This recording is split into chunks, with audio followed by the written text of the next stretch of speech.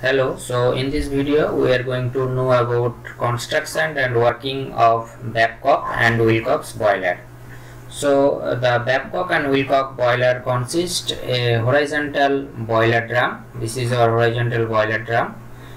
At the top where steam and water are stored. So basically uh, since uh, steam is lighter in weight so steam is stored at the top and water uh, in heavier so it is stored at the bottom. Okay.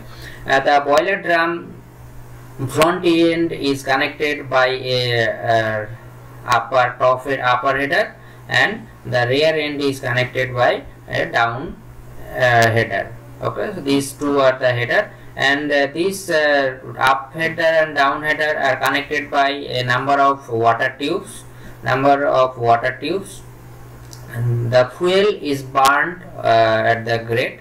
And this grate is made of cast iron tubes. Uh, so due to the burning or combustion the flue gas is generated. And this flue gas is flowing along the uh, tubes water tubes. And uh, this uh, after flowing it strikes to the baffles uh, basically these baffles are made of bricks wall.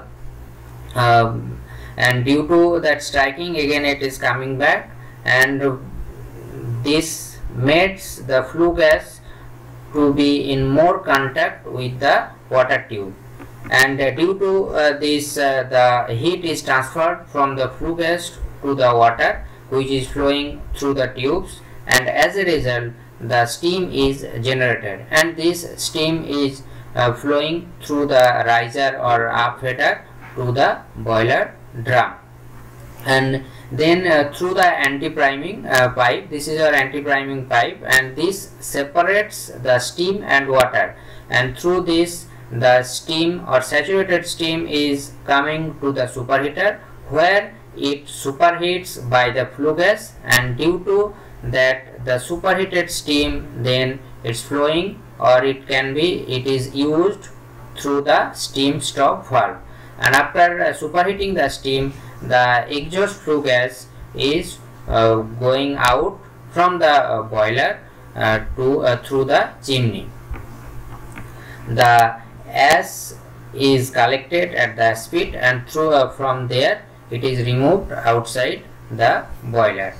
Here at the bottom of the downcomer or down header we have mud box. Here the mud and sediments are stored and from and there it is throwing or it is uh, throwing uh, through the blow up pipe. Blow up pipe okay? And by using a high pressure hot water on regular basis. Then we, here we have one door. Uh, this uh, compensate the expansion of the tube uh, due to the heat transfer. And uh, here we have damper uh, through the damper air is drawn for combustion of the fuel uh, as required. Then uh, at the uh, top of the boiler drum we can see that in the different surface there is a many uh, um, boiler mountings are attached like manhole steam stop valve safety valve pressure gauge water level indicator and feed water inlet. So these boiler mountings are used for safety purpose of the boiler. Safety purpose of the boiler. For regular inspection and repair work, man can enter through the manhole uh, inside the boiler drum as well as inside the boiler for repairing purpose. Okay?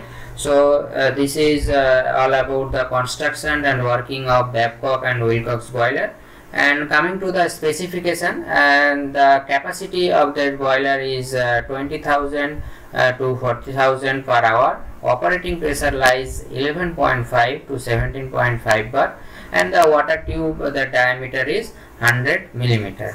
And another one thing that uh, furnace wall is lined by uh, bricks so that our uh, loss of heat can be reduced. Okay as we know that uh, bricks are insulator so there is a uh, low heat transfer to the out outside.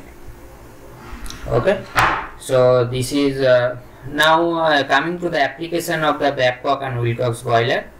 Uh, this uh, Babcock's and Wilcox boiler are generally used for industrial purpose uh, such as uh, steam power plant uh, there we can use. And this boiler is discovered by George Herman Babcock and Stephen Wilcox. These are two scientists in the year of 1967 okay? So this is all about uh, this boiler so thank you for your kind attention